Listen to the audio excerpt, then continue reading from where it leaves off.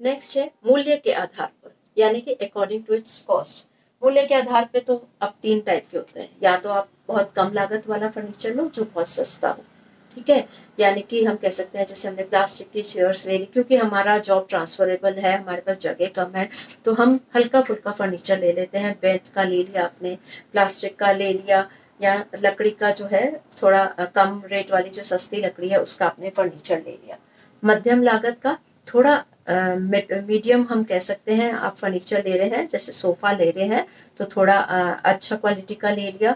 उसी तरह से हम इसके इधर देखें तो हम इसमें धातु का भी ले सकते हैं, जो आप ये कह सकते हैं कि लोहे का फर्नीचर होता है, वो ले सकते हैं, क्योंकि उसकी लाइफ ज़्यादा होती है।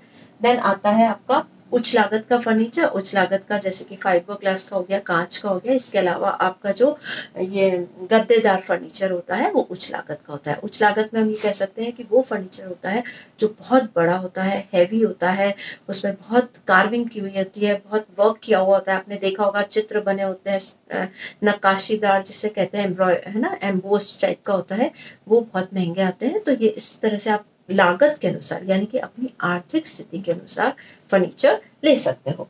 देन कम सज्जा की। सज्जा की जो शैली है, उसके अनुसार। अब सज्जा की शैली क्या होती है? हम ये देखें तो इसको हम कह सकते हैं कि बहुत ऐतिहासिक शैली। कई लोग ऐतिहासिक शैली का फर्नीचर पसंद करते हैं। घरों में होता है बड़े बड़े जो बैंगलोर्स होते हैं, या आप कभी होटल्स में जाते हो तो वहाँ पे आप देखोगे ऐतिहासिक शैली का फर्नीचर जिसमें कि बड़े बड़े सोफे होते हैं बड़ी बड़ी चेयर्स होती हैं, जिनमें बहुत हम कह सकते हैं काविंग होती है, और उसमें चांदी जैसा वर्क दिखेगा आपको, जो एल्यूमिनियम का होता है तो नकाशीदार जो फर्नीचर होते हैं, जो कि हम कह सकते हैं हमें देख के मुगल्स की याद आ रही है। पुराने जमाने की जो याद आता है दैट इज़ कॉल्ड ऐतिहासिक फर्नीचर देसी शैली देशी शैली जो आप, हम कह सकते हैं कि हम मोस्टली इंडियंस जो यूज़ करते हैं, आराम से हम जो नीचे चौकी पे बैठ रहे हैं मुट्टियों को प्रयोग में कर रहे हैं, आपकी जो इजी चेयर्स आप घर में यूज़ करते हो दैट इज़ ऑल योर देसी शैली। देन कम्स आधुनिक that is modern furniture modern furniture कौन सा होता है? हम मॉडर्न फर्नीचर उसको कहते हैं मोस्टली जो कि very simple very easy to maintain and folding और जिसके ज़्यादा हम एक से दो ज़्यादा उसके हम एक्टिविटीज़ में यूज़ करते हैं। जैसे कि मैंने पलंग यूज़ किया। उसके साथ मैंने बॉक्स वाला पलंग बनवाया कि जिसमें मैंने सामान संग्रह किया। या मैं कह सकती हूँ पलंग के साथ सोफ़ा कम बेड मैंने दिन में उसको सोफ़ा बनाया, रात को पलंग की तरह यूज़ किया। तो this is called modern furniture जिसको कि आप एक की जगह दो, तीन एक्टिविटीज़ के लिए यूज़ कर सकते हो, क्योंकि आपके पास स्पेस की प्रॉब्लम है। And that looks beautiful and simple next comes tips to check the quality of furniture आपको फर्नीचर के गुण जानने के लिए क्या टिप्स है? अब तुम फर्नीचर खरीदने जा रहे हो तो हम कैसे चेक करें कि फर्नीचर अच्छा है या नहीं? तो हम बहुत डीपली तो नहीं देख सकते, लेकिन हमें कुछ बातों को चेक करना है। सबसे पहले तो हमें ये देखना है कि ये, उससे पूछना है ये किस लकड़ी का बना हुआ है। कई बार क्या होता है कि लकड़ी तो सस्ती यूज़ करके उसको पेंट कर देते हैं और हमें अंदर पता ही नहीं चलता कौन सी लकड़ी है। और थोड़े दिन बाद आप घर ले जाओगे तो उसमें या तो कीड़ा लग जाएगा या वो लकड़ी फूल जाएगी या पॉलिश उतर जाएगी या कई बार क्रैक्स पड़ जाते हैं, पपड़ी सी आ जाती है। तो सबसे पहले देखिए कि लकड़ी कौन सी यूज़ की गई है, उस पर प्रॉपर पॉलिशिंग है या नहीं। फिर उसमें जो नट्स बोल्ट्स हैं, उनकी क्वालिटी को आप देखिए। ये तो नहीं कि फर्नीचर है ना थोड़े दिन में उसमें रस्ट लग गया और अलमारियाँ खुली नहीं रही हैं हैंडल आपके हाथ में आ रहे हैं। उसमें बैठ के देखिए कि वो कहीं आवाज़ तो नहीं कर रहा, चरचराहट की आवाज़ तो नहीं हो रही, ये हमें देखना है। गद्दे ले रहे हैं या जो आपने गद्देदार फर्नीचर लिया तो उसके अंदर फिलिंग किस चीज़ की है? रुई की है तो उसको मेंटेन करना मुश्किल होता है। उसमें फाइबर की फिलिंग है, कौन सी फिलिंग है? उसमें जो अंदर जो वायर्स यूज़ किए गए हैं, वो कौन सी क्वालिटी के हैं? इन सबको देखना है। इसके अलावा अगर उसमें पेंट हो रहा है तो वो कौन सा है ये तो नहीं कि थोड़े दिन बाद उतर जाएगा। तो इस तरह से आप उस फर्नीचर को चेक करिए कि इसकी क्वालिटी क्या है। फोल्डिंग फर्नीचर है तो उसको आप देखिए कि फोल्ड हो रहा है आराम से कि नहीं। ये तो नहीं कि हम फोल्ड कर रहे हैं, उसके बाद खोल रहे हैं तो वो टूट रहा है। तो उसको अच्छे से आप चेक करिए ईच एंड एवरीथिंग कांच का फर्नीचर है तो ऐसा नहीं हो कि कुछ हल्की सी चीज़ ही रखी तो वो टूट गया। तो प्रॉपर क्वालिटी कांच की अच्छी क्वालिटी हो तभी लीजिए। आयरन का ले रहे हैं तो ये तो नहीं कि उसमें जंग लग जाएगा। फर्नीचर बारिश में ना खराब हो, इस चीज़ का खास ध्यान रखना है, क्योंकि ज़्यादातर हम देखते हैं कि बारिश होती नहीं, फर्नीचर में नमी आ जाती है और वो फूल जाता है और आपको खोलने में, बंद करने में दिक्कत आती है।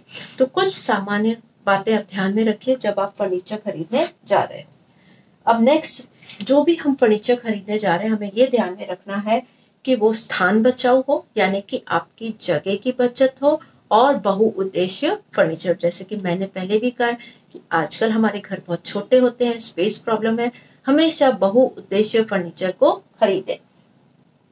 फिर है कि जब भी आप नया फर्नीचर खरीदते हैं तो आप उसमें कुछ बातों को ध्यान में रखिए, जो कि हम वैसे ऑलरेडी डिस्कस कर चुके हैं, कि आप उसकी उपयोगिता पे ध्यान दें, कि वो आपके लिए उपयोगी है या नहीं।